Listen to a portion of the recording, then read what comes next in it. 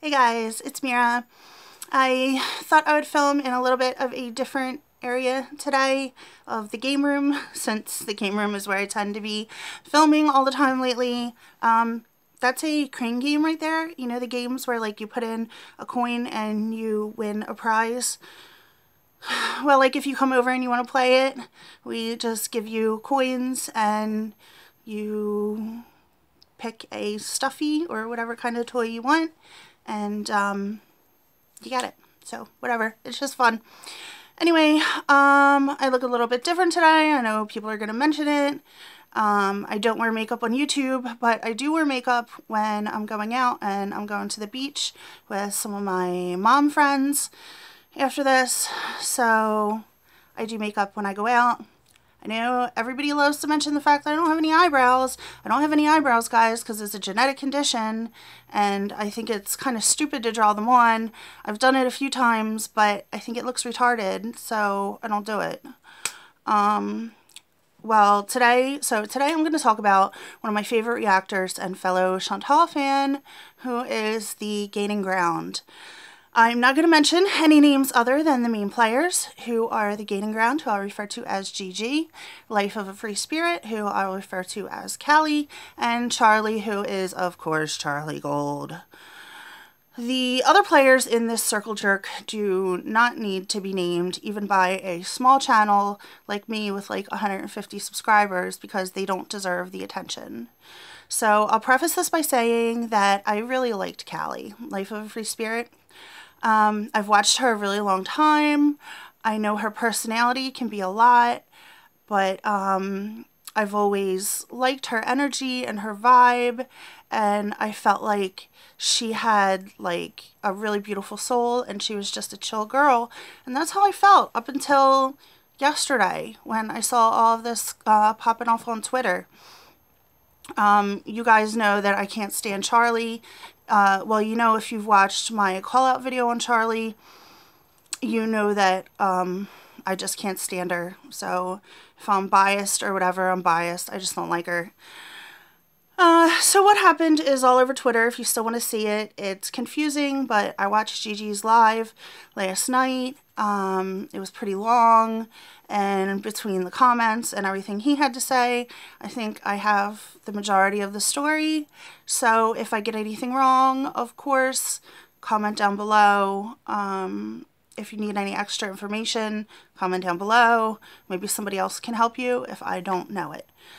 Um, so, uh, I will be saying allegedly a lot in this video just because, uh, sorry, I'm rocking on my chair. I gotta stop doing that. Um, I'll be saying allegedly a lot because obviously I cannot confirm anything personally. I certainly have seen the tweets. I know what was said, but um, I think I need to preface them with allegedly, just because of this situation is really, really serious at this point. Um, so GG was doxxed. He was fully doxxed. His name, his address, his mother, his job. Um, this is really fucked up. Allegedly, Callie is the one who tweeted it out first, and Charlie was allegedly in on it. They allegedly conspired to do this to him. Um, Callie has beef over GG um, because he supports Chantal. That's how it started, as far as I know. Um, I don't know whatever business it is of hers, who he supports and who he doesn't like. Um, but that's that's apparently where their beef came from. And Charlie and GG have beef because he criticizes her for being a weight loss channel that doesn't lose any weight and um, just really has a shitty personality in general. At some point during a back and forth between GG and Charlie, he told her to go back to Chick-fil-A. This was obviously a fat joke. Um, she completely turned it around and she said that he was being racist because, get this, fried chicken. So he told her to go back to Chick-fil-A because she's fat and she's eating fast food. And she turned it around and tried to make it into him being racist because black people like fried chicken, which is so fucking stupid because I'm a vegan, and even I will admit I used to love fried chicken. Like, it's fucking delicious. Who doesn't love fried chicken? Um, so, um, so she and Callie used this whole racism argument to really hype up all their stands and the people that don't like the gaining ground, and it got like real bad. Like these minions got real subhuman on him. They trashed his mom. One even contacted his job and told his job that they had a racist employee working for them. So these people are like the lowest of the low. Like this is YouTube. Keep the drama to YouTube. Um, keep it in the comments if you want to make your own video like I've started doing, responding to people that you don't like, go ahead, do that. Go on Twitter and do it. Um, but it's, who cares? It's literally just opinions on social media. Like, that's all that it is. It's not that serious.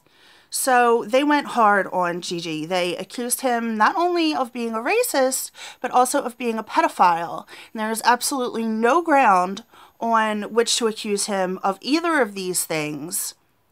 At this point, I want GG to hold strong and actually consult a lawyer because they all know he isn't a pedo. And they completely fabricated it. They know they did. Everyone else knows they did. Tweets are screenshotted and now his address is out there and people being told people are being told he's a racist and a pedo like if i heard that there was a, a racist or a pedophile living next door to me or living close to me or whatever i'm not saying i would do anything but someone might you know what i mean um, so his life is very likely in danger now because of this. And like I said, there are screenshots. Um, I feel like this is um, definitely something that could be litigated um, because it does put his life in danger and because it is something that was completely fabricated. So um, I really think he needs to look into that.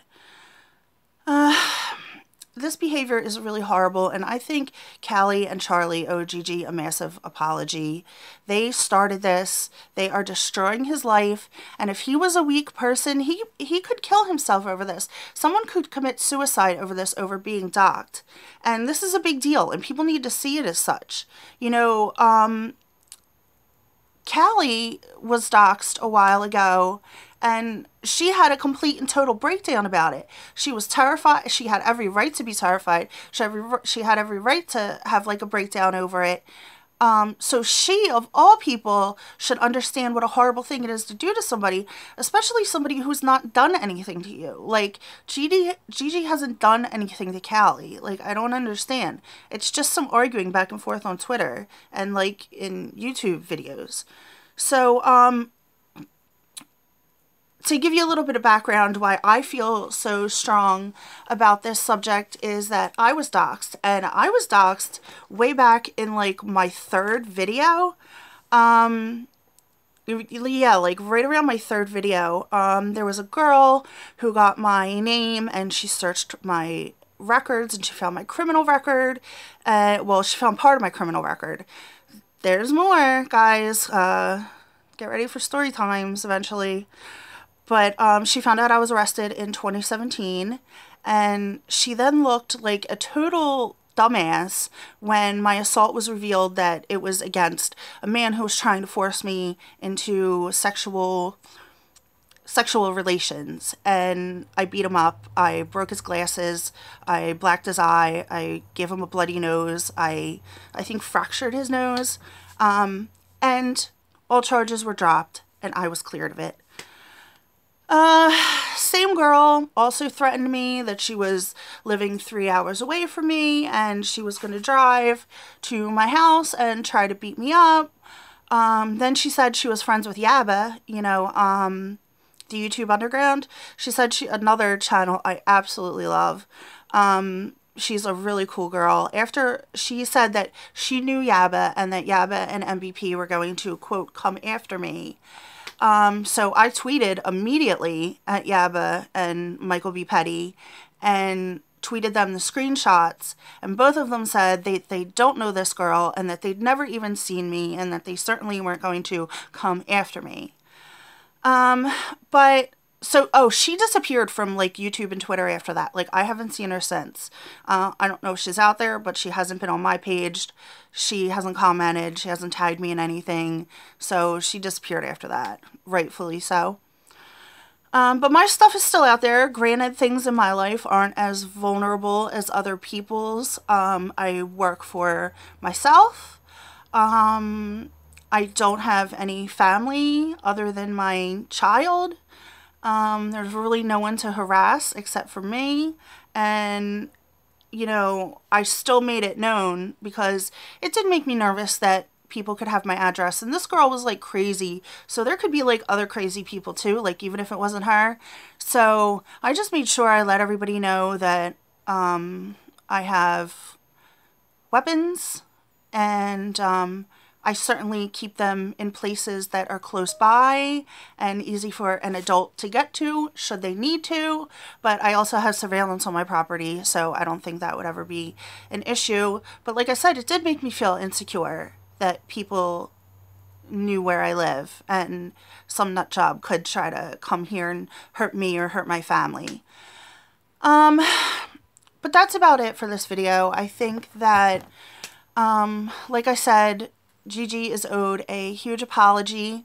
Um, all this is really, really fucked up. I feel horrible for him. Um, you know, he was really upset on live last night saying, you know, his life was ruined. Um, you know, who knows, he could lose his job over this. Um, but GG's going to be okay. You know what? He's got a lot of fans. He has grown really fast. Um, other people are jealous because he's growing really fast as a reaction channel and they're stagnant. Um, and he'll be okay. He'll be okay. Even if he loses his job, you know, I think people will come out and support him bigger and better than ever and he'll do lives and people will contribute and he will continue to make videos and have YouTube revenue. So I really hope that he doesn't worry too much about that. Um, but of course it's fucked up that um, people have drug his mother into this and um, it's just horrible. It's horrible. The whole thing's horrible. People are horrible. Um, no one should ever do this. We should come together as a community. And um, I know Yabba is one person who is completely against doxing. I know it's happened to her.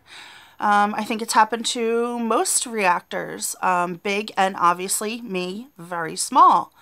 Um, we need to come together and say it is not okay. We will not do it to each other. And if someone in the fan base or in the community um, tries to put it out there that we will do everything we can to stop them uh, from doing it. And um, certainly that we won't spread it. So that's it, guys. Um, like, comment, subscribe. I don't know how you're going to feel about this video. It's certainly different from my normal videos, but it's still in the reactor world. Um, so that's about it. Um, I hope everybody takes this to heart because I really mean it and I think everyone else should really feel for GG and what he's going through right now. Alright guys, I will see you in the next one and have a great day.